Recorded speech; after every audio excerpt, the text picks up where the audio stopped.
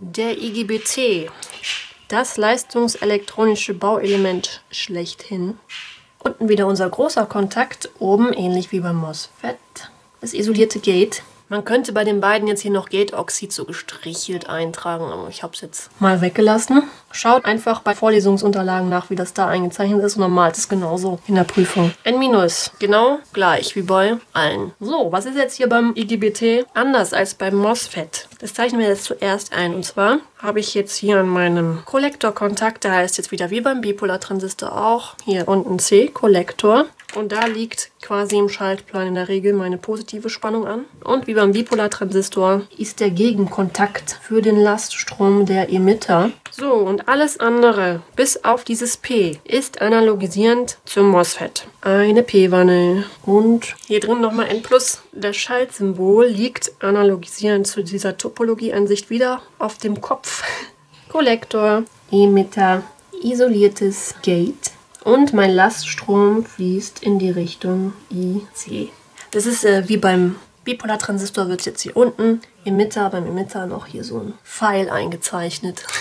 Obwohl das Geld ja eigentlich isoliert ist.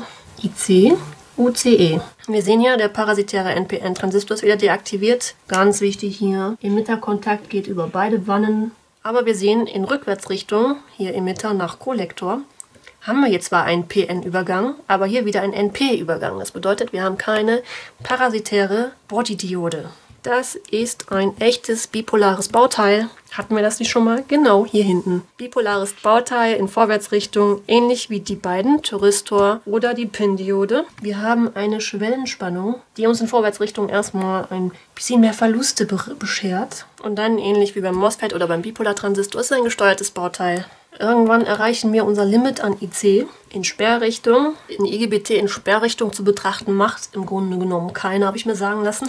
Weil das auch ein bisschen komplizierter ist jetzt als bei der Diode. So, es gibt NPT, Non-Punch-Through und PT, Punch-Through IGBTs. Und je nachdem, was für eine Sorte man hat oder je nachdem, was für ein Typ IGBT das ist, verhält sich das mit der Temperatur anders. Bei kleinen Strömen ist es so wie bei einer Diode. Die Schwellenspannung wird erstmal kleiner, aber der Verlauf hier von dem differenziellen Widerstand wird flacher. Irgendwann kreuze ich hier meine Kennlinie, die für die Raumtemperatur gilt. Also, zwei verschiedene Effekte. Eins ist jetzt bei kleinen Strömen.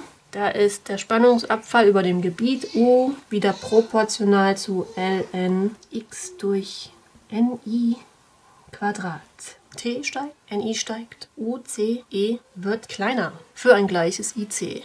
Das ist typisch für sogenannte Punch-Through-IGBTs. Bei großen Strömen überwiegt dieser physikalische Materialeffekt. Temperatur steigt, Mühe geht runter, differenzieller Widerstand wird größer und bei einem gleichen I wird mein UCE größer.